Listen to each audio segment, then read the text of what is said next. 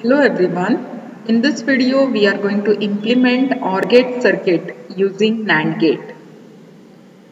So to get OR gate expression as y is equal to a plus b, we need to take two inputs as a bar and b bar and connect it to NAND gate to get output as y is equal to a plus b.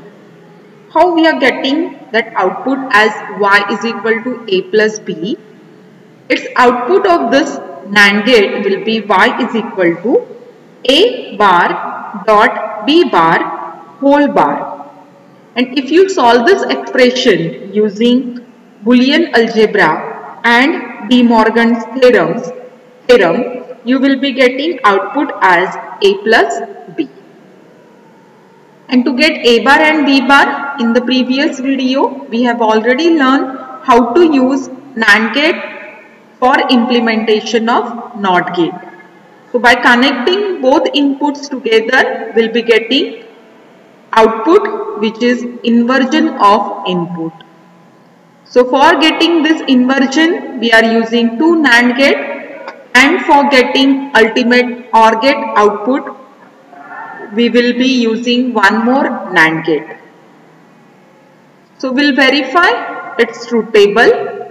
When both inputs are low, when both inputs are low, output is also low. That's why LED is in off condition. Same you can check it for actual OR gate. So same thing. If A is low and B is high, in this case output is in on condition LED is in on condition that means it is 1 so A is low B is high output is also high and same thing you can check it in the truth table.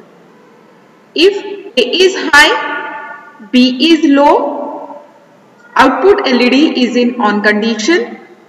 So A is high B is low output LED is in on condition. Same thing in your truth table. When both inputs are high, output is also high. Same thing you can check it for your OR gate and in the truth table. So this is how you can implement OR gate using NAND gate. Thank you.